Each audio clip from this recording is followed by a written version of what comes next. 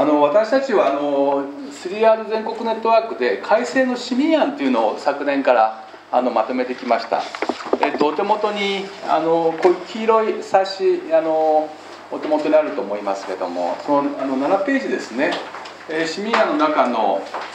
えー、まあ括弧3のところで、まあ、リサイクルすることはいいんですけどもそれでまあ非常にお金がかかってしまったらやっぱり難しいだろうということでもっともっとリサイクルを合理的にですね安くすることも一つの課題だろうというふうなことで市民案の中ではこういった合理化をですね進めていこうという提案をしております。その中のあのカッコさんの丸1ですね。プラスチックは分別収集後の一次選別。と保管を市町村から事業者に移すことで二重の選別をなくし合理化しましょうという提案をさせていただいておりますじゃあこの二重の選別をなくしたらどのぐらい合理化するんだろうかということを今年試算をあのリサイクル事業者さんのご協力を得てですね試算をしましたのでそのご報告をさせていただきます。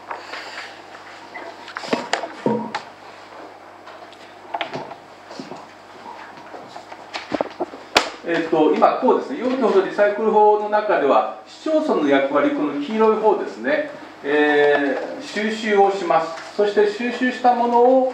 あの選別をします。この選別は何かっていうと容器包装じゃないプラスチックが入ってたり汚れたものですね。あの資源なら汚れたものをこういうラインのコンベヤーのラインに人が立ってですねここからピックアップしてあの取り除いてるわけですね。あの市町村によって違います市民の協力度合いによって、まあ、そこがあの20%近くあの異物になっていたりいいとこでは10%を切っていたりだとかいうふうなことで、まあ、都内ですと大体1020%近いところが異物という形でここから取り除くわけですね。で取り除いてそれを運ぶためにあの圧縮をしてこれベールって言いますけども、まあ、1メーター四角ぐらいのあのギュッとあの圧縮してですねこういうベルにしてそれでそういうふうにベルにして保管をしておいたらですね初めて、えー、養利協会ですね特定事業者さんの役割として養利協会、えー、を通じてですねこのベールを引き取りに来るというふうなことになっています。でこのベールを作るベール品質基準というのはございます。あの、まあ、異物がですね13%以上混じってるのはもう引き取れないようだとかいうふうなことになるわけですね。ただ事業者さんの方から見るとこのあのプラスチックはですねあの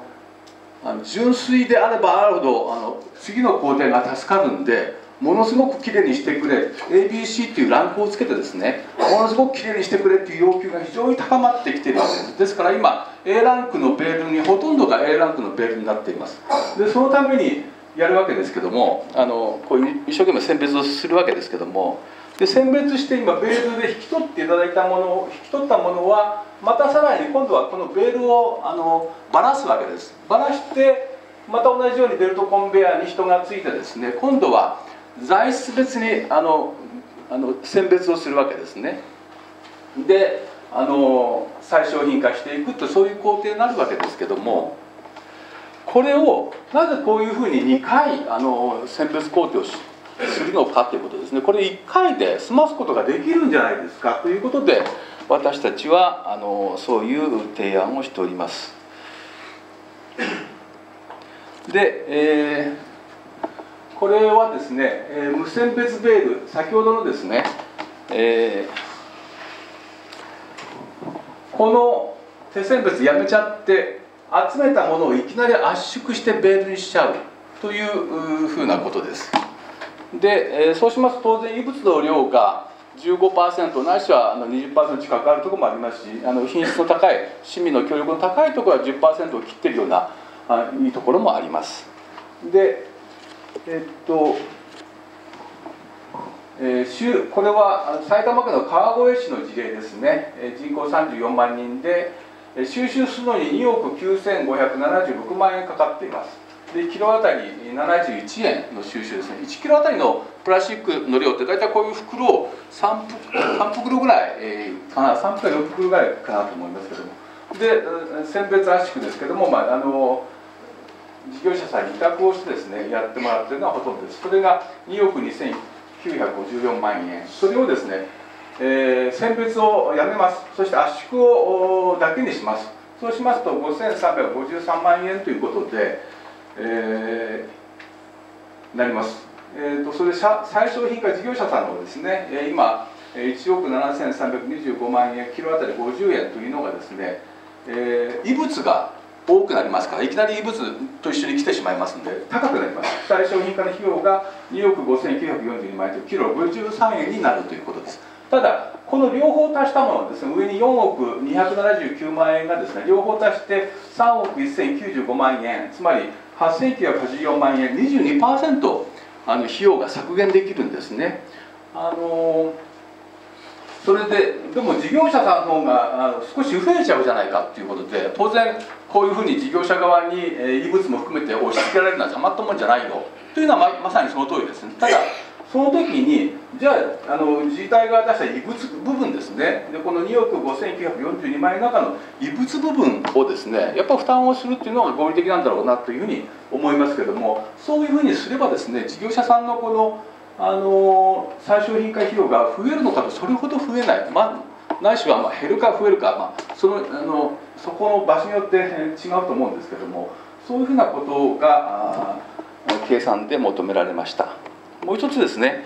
えー、っと20キロぐらいの近いところに最小品化事業者がある場合ですね。もうベール化しないであのパッカー車で収集したらそのままもう最小品化の施設まで走っちゃいましょう。ということになります。そうするとさらにもっと安くなります。圧縮する必要はないです。圧縮したものをまたほぐして選別することは必要ありません。まあ大体20キロ圏内であればできます。でそうしますと1億5984万円ですね費用が節約できるということで、まあ、4割節約できるということです、まあ、ですからあのー、こういうふうな今要求放送リサイクル法の下でこういう非常にま不合理なあの仕組みになっていることをぜひま今回の開催でですねここら辺のことを見直していただくことがあしていただきたいなというふうに思っております。あとこれま詳しいデータが次のページあります。あと川越市川口市だとか福島県いわき市能代市、まあ、そういった試算をしたものがありますのでご覧いただければと思います。ぜひこれはですね市民にとってもあの市町村にとっても事業者にとってもやっぱあの大変いいこと費用が安くなることですのでぜひまあこの二重選別のですね解消をして合理化を進めるとぜひこれだけでも実現をしていきたいなというふうに思っております。以上報告終わります。ありがとうございました。